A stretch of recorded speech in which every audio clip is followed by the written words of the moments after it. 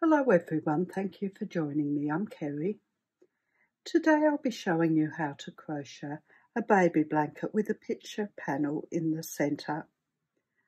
The blanket I'll be making today will have a green centre instead of the blue centre and I'll be adding some cute animals, a chipmunk, raccoon, a fawn, some skunks and flowers and different things instead of the moon and teddy bears. I made my blanket 92 centimetres by 76 centimetres or 36 inches by 30 inches, but you could make your blanket whatever size you'd like. Now I used 8 ply yarn which is light worsted in the US and double knit in the UK. For the main colour, this white yarn with the pink and green flecks and the silver through it. I use 300 grams and for my contrast, the green, I used 100 grams for that. I've also got my appliques, scissors. I used a 5.5 and a 5mm crochet hook because I've got very tight tension, but you might prefer to use the 4 or 4.5 millimeter hook. I've got a darning needle to weave in the ends, sewing thread and a needle to stitch the appliques to the blanket and I've got some yellow embroidery cotton to add French knots to the middle of the flowers. Now we start in the middle panel. I've got my light green and I'll be starting with a 5.5 millimeter crochet hook. I have a very tight tension and if I used a four, my blanket would be really stiff. So use the hook that you would normally use. Now we start with 42 chain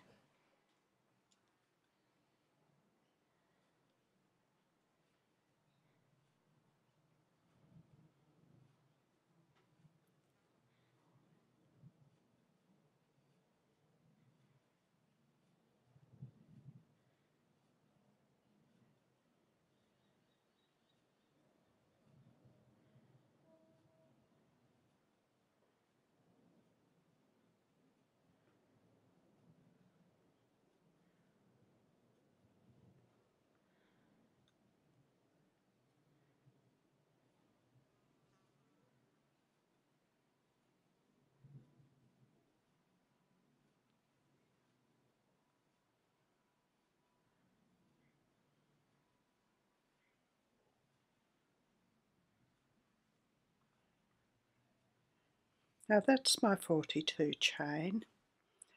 For row 1 we're going to work one double crochet in the third chain from the hook. A double crochet is a treble using UK terms. For a double crochet we put the yarn around the hook, hook into the stitch and bring up a loop. Yarn around the hook, take the hook with the yarn at the end through two loops, yarn around the hook, hook with the yarn at the end through two loops. Then we're going to work one single crochet into the next stitch. A single crochet is a double crochet using UK terms. For a single crochet, put the hook into the stitch, bring up a loop, put the yarn around the hook and take the hook with the yarn at the end through the two loops. And we'll be working like that right across our row. One double crochet into the next stitch, and one single crochet into the following stitch. So one double crochet into the next stitch and one single crochet into the following stitch right across our row.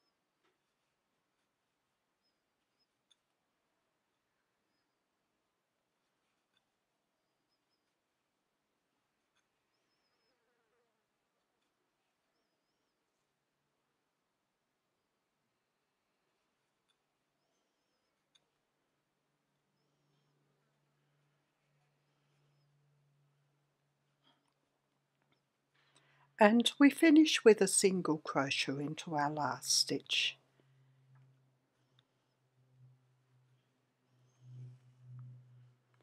And that's row 1 done. Now all the rest of the rows will be worked the same. We start with 2 chain and turn.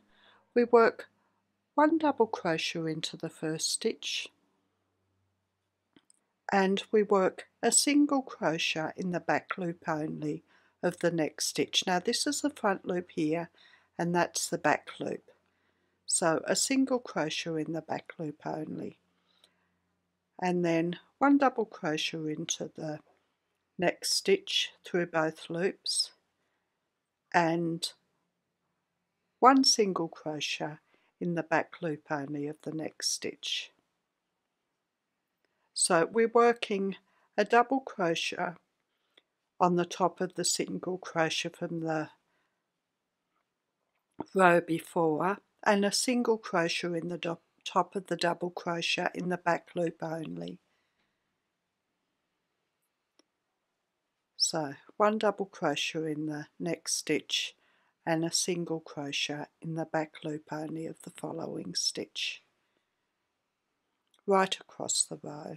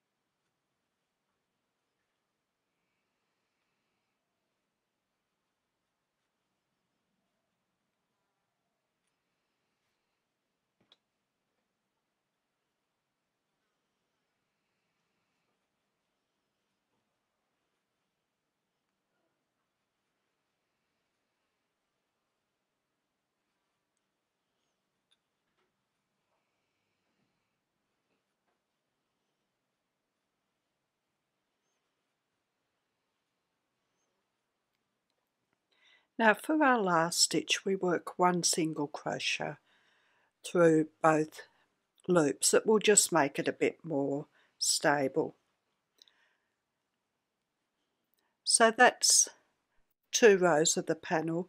Now we just repeat row 2 until our work measures about 40 centimetres or 16 inches. So I'll just repeat row 2 off camera until my work is the right size. Now my work is about 40 centimetres long or 16 inches. We're going to do an edging right round the piece now. Um, I'll change to a size finer hook for the edging. So I'm going to change to a 5 millimeter hook. Now the most important thing for the edging is to get our stitches fairly evenly apart. We're going to work one single crochet in each stitch on the straight edges and three single crochet into each corner stitch. So we'll start with one chain and I'm going to work one single crochet into the corner stitch and then I'll work two more single crochet into that same stitch at the end of the row. And then we work one single crochet in each stitch down the side. So just try to get your stitches the same distance apart as they are along the top and the bottom. So just one single crochet in each stitch down the side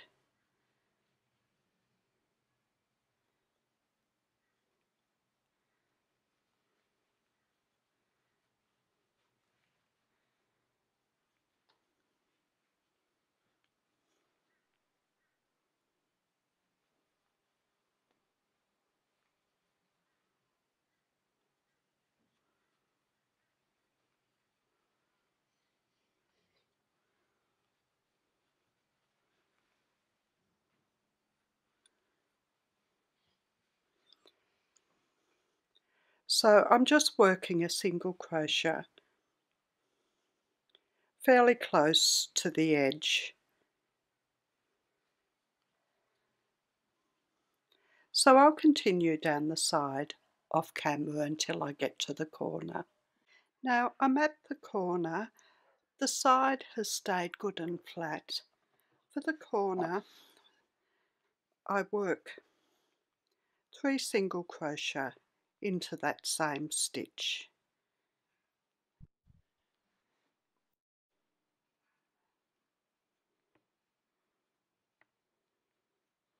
And then one single crochet in the back of the chain along the bottom to the next corner and we'll work three single crochet into the corner stitch and then one single crochet in each stitch up the other side three single crochet into the corner stitch and then one single crochet in each stitch along the top to the corner stitch so I'll work the rest of this up off camera to the last corner and I'll be back when we get to the last stitch. Now I'm back to the corner stitch. I work two single crochet into the corner stitch and then slip stitch into the top of the first stitch and then I fasten off.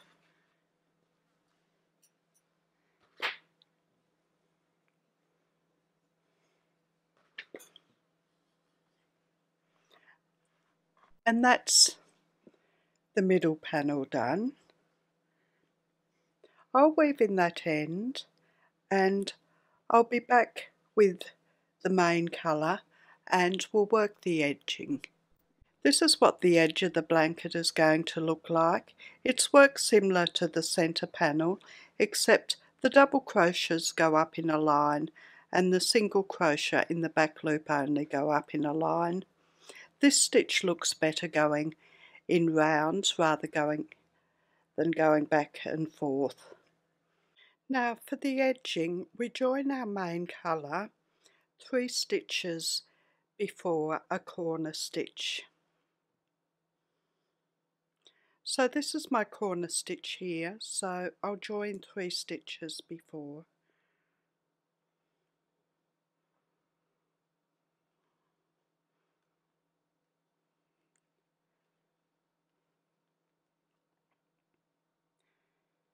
And we start with two chain quite loosely. That's going to be our first double crochet. and then we work a single crochet in the back loop only of the next stitch a double crochet in both loops only of the following stitch. Now for this row into our corner stitches we're going to work through both loops in all our corner stitches. We work one single crochet, one double crochet and one single crochet. So one single crochet, one double crochet and one single crochet. and then we're going to work one double crochet into the next stitch and a single crochet in the back loop only of the following stitch. And we'll repeat that one double crochet into the next stitch. And a single crochet in the back loop only of the following stitch. And just repeat that across. Now we need to have a double crochet in the last stitch before our corner stitch. So we may need to either work a joined stitch or work two into the same stitch. But we'll see when we get near the corner. So one double crochet in the next stitch and a single crochet in the following stitch across the bow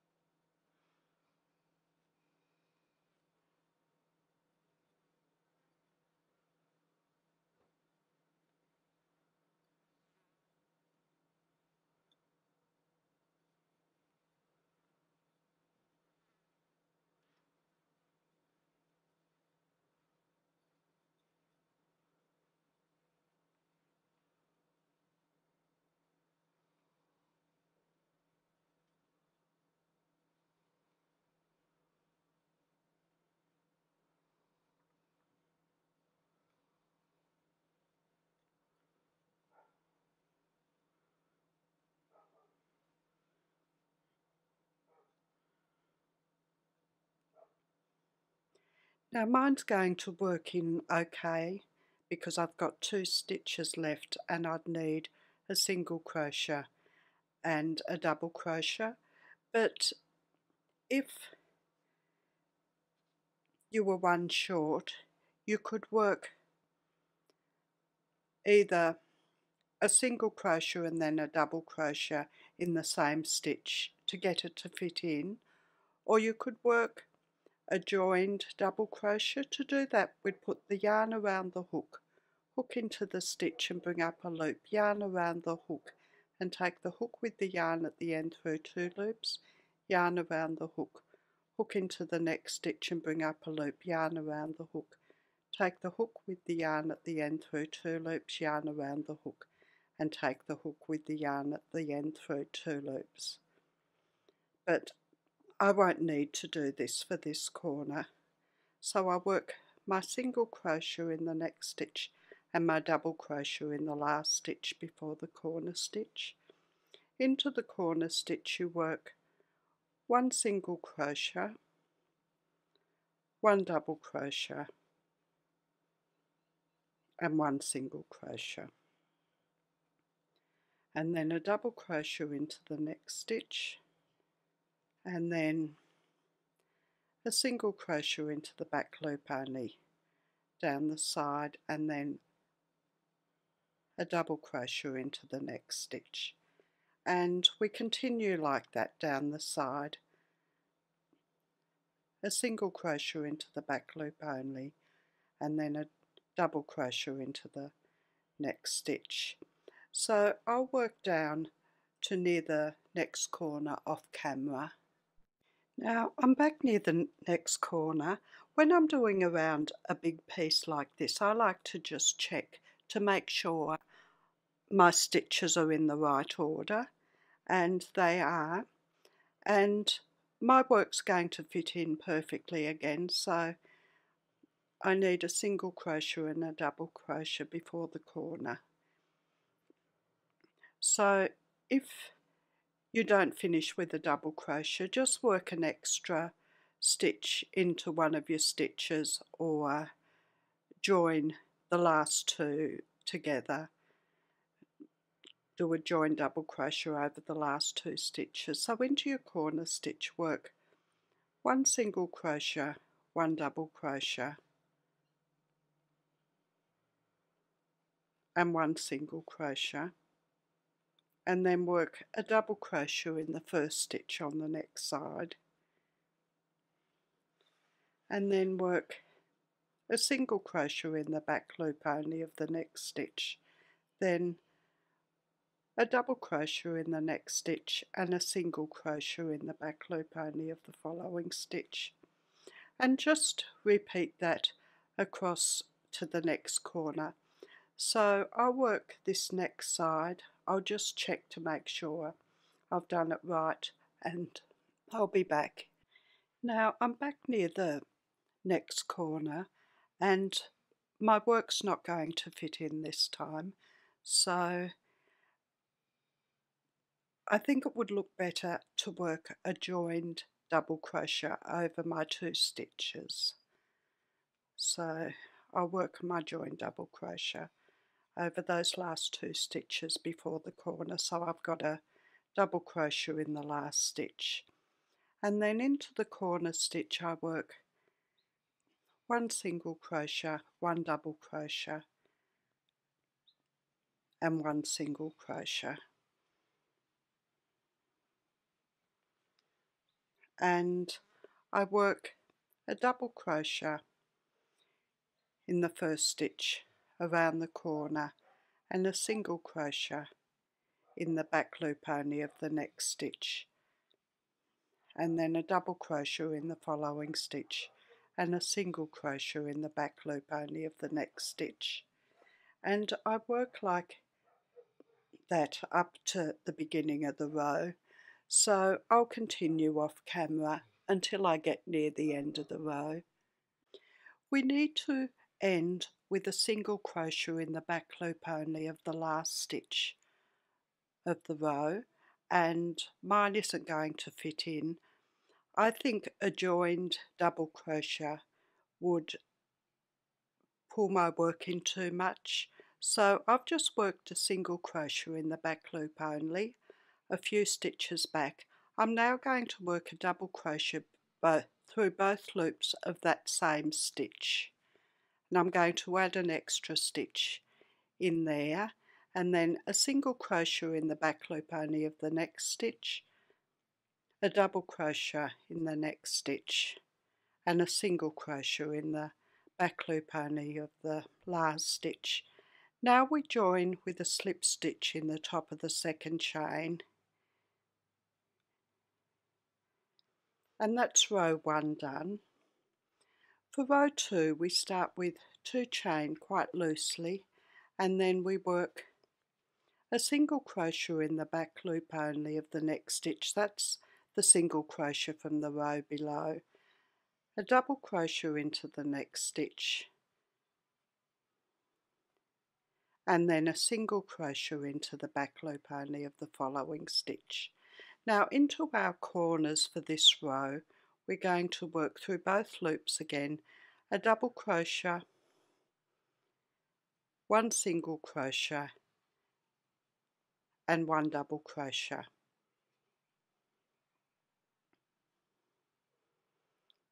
And then we work a single crochet in the back loop only of the next stitch and a double crochet into the following stitch.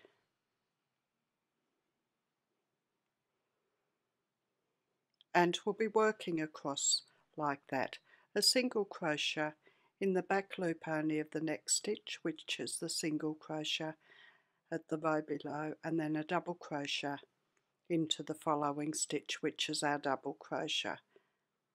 And into our corner stitches we'll be working one double crochet, one single crochet and one double crochet. And we don't need to keep checking our work anymore because you should be able to see if you've worked a wrong stitch because your single crochets and double crochets won't be on top of each other. So I'll continue around this the rest of the row off camera and I'll be back when I get to the end of the row. Our last stitch before the end of the row is a single crochet in the back loop only.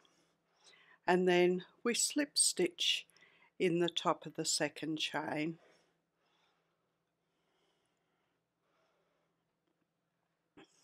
For row 3 we start with 2 chain loosely.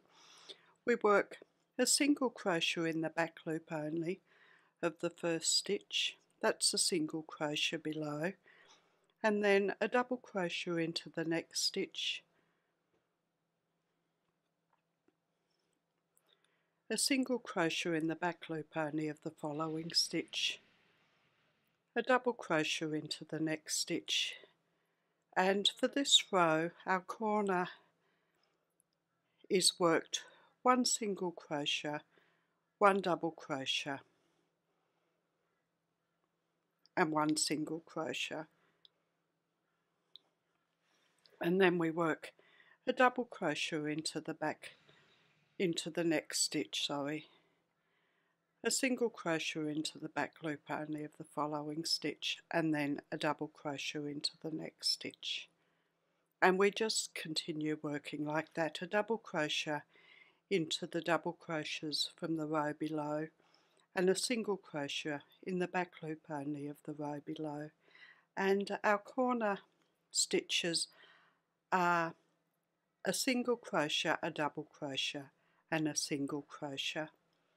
So I'll work the rest of this row off camera. When we get back to the beginning of the row we join in the top chain and that's our pattern rows 2 and 3. So for every row we start with 2 chain loosely for our first double crochet and then just work a single crochet in the back loop only of the next stitch. We'll be working a double crochet in the double crochet from the row below and a single crochet in the back loop only from the single crochet in the row below and into the corner stitches in the next this row that we're just about to do we'll work one double crochet one single crochet and then one double crochet. And then in the next row we'll work one single crochet one double crochet and one single crochet. So we continue working like that until your work measures the desired amount. I'll work mine about 36 inches by 30 inches or 92 centimetres by 76 centimetres and then I'll be back and we'll work a fairly simple border. My work is just under 92 centimetres by 76 centimetres or 36 inches by 30 inches. So I'll work the border now. There are two rows to the border. The first row is just one single crochet in each stitch except for the corner stitches where we'll work three single crochet and the second row is just a reverse single crochet or crab stitch. So we start with one chain and we're going to be working through both loops now. So we work one single crochet in the same stitch as our chain and then one single crochet in each stitch up to our corner stitch.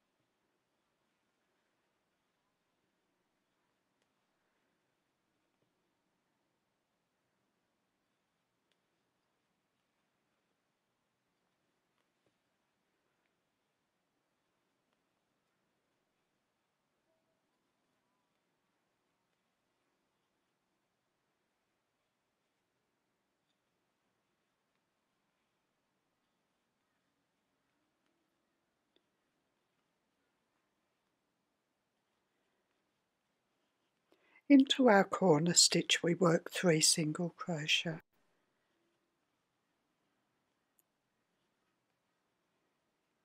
And then one single crochet into each stitch along to the next corner. We'll work three single crochet into the next corner and then one single crochet in each stitch down the side. So I'll continue around my neatening row until I get to the beginning of the row. So just one single crochet in each stitch except the corner stitches and three single crochet into each corner stitch. When we get back to the beginning of the row, we join with a slip stitch in the top of the first stitch. For row 2 we start with one chain now we're not going to turn, we're going to work back the wrong way. So we put our hook into the next stitch and bring up a loop, yarn around the hook and take the hook with the yarn at the end through the two loops. So into the stitch before and bring up a loop yarn around the hook and take the hook with the yarn through the two loops. And we're just going to work one reverse single crochet, or it can be called a crab stitch, in each stitch around. We're not going to work three into the corner stitches, just one reverse single crochet in each stitch around.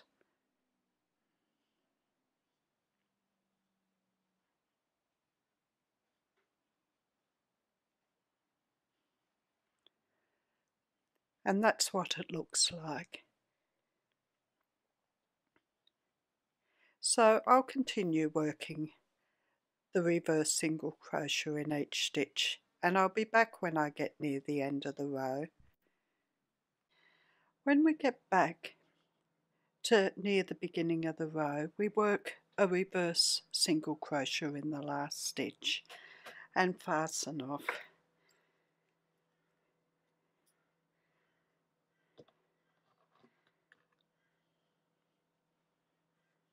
And when I weave in the ends, I just pull it down the back there so you can't see where the join is.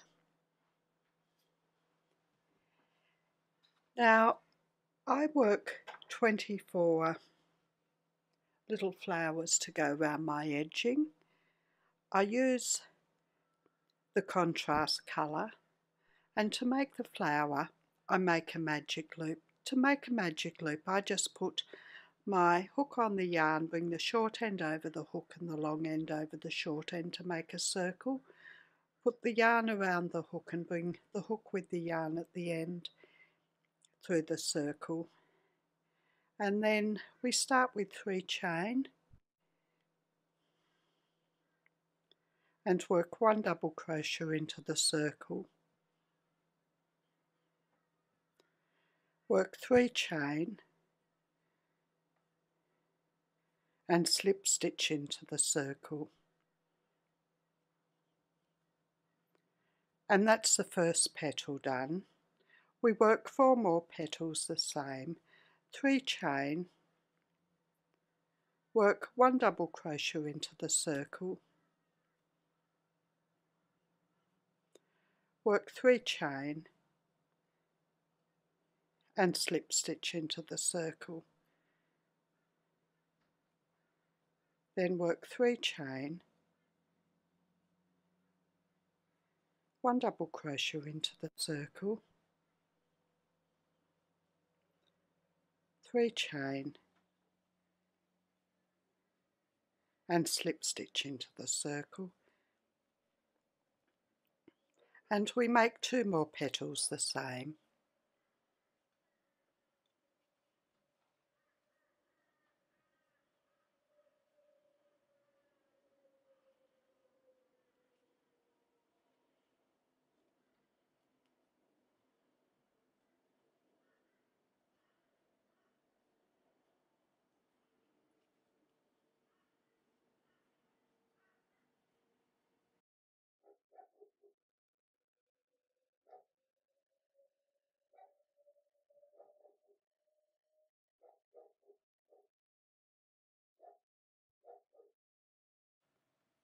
Once we've got our five petals, we pull the circle tight. So we take hold of this tail and just ease it in and fasten off.